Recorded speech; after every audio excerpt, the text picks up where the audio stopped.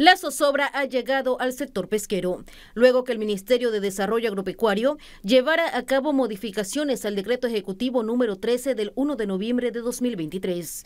Denuncian que fueron eliminadas las pesquerías de algunas especies como el cojinúa pero con la eliminación de la pesca de cojinúa, que es la que más nos preocupa, que, está, que es la que se hace dentro del mercado del marisco por hace más de 70 años, esta se haya sido eliminada y nosotros no, tenemos conocimiento de la misma. Bueno, nosotros somos de la Cojinoa.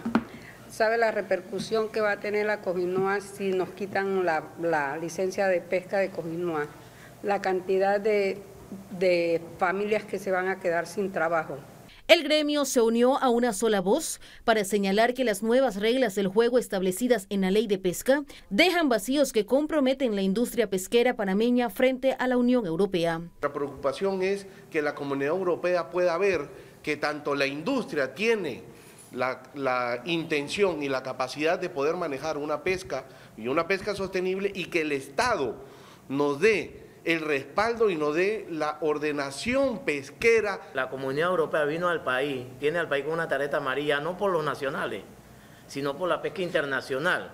Entonces, las auditorías que se están haciendo son avanzadas más al tema internacional que al tema nacional, porque nosotros hemos sabido llevar nuestra pesquería nosotros estamos claros de que fueron los internacionales los que cometieron esta infracción, pero sin embargo se está castigando a un sector que produce en la República de Panamá con más de 50 mil empleos directos. Pero, ¿cómo responde el sector a los señalamientos sobre el impacto que tiene la pesca de arrastre en la vida marina? En referencia a ese impacto, yo creo que nosotros no generamos ni siquiera el 0,1% en este impacto.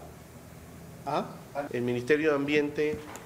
Eh, asignó 55% de las aguas panameñas como aguas de no tocar, de no producción. Pesca de arate de gran altura, ellos que mencionan un barco donde hay unos barcos grandísimos, estos no existen aquí. Son factorías. Son con redes, pero nosotros tenemos barcos pequeños de redes, eso no va a hacer el daño que ellos están haciendo. La industria pesquera no descarta que la destitución de la exdirectora del ARAT guarde relación con las modificaciones a la ley. Nosotros como sector pesquero